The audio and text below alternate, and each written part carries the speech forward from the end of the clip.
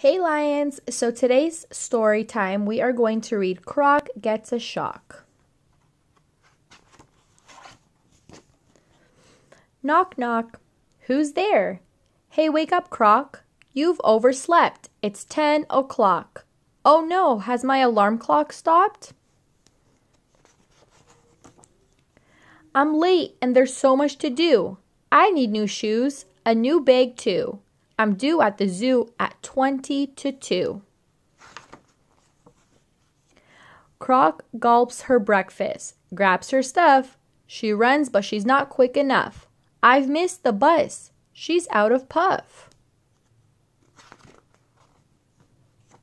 Now Croc's in town. It can't be true.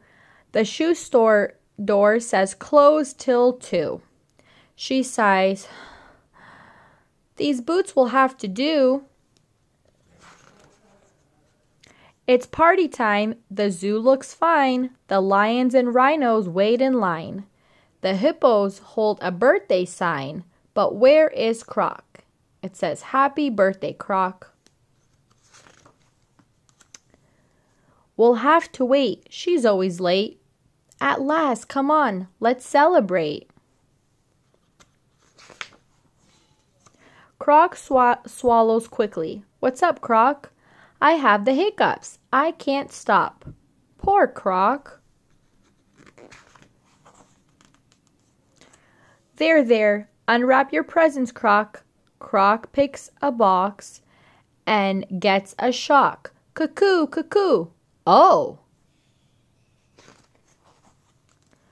My gosh, I almost dropped the box. You've never seen a cuckoo clock? Hey, Croc, guess what? Your hiccups have stopped. It was the shock. So tell us, do you like it, Croc? I do, I do. I like it a lot. It's a tip top tick tock cuckoo clock. The end.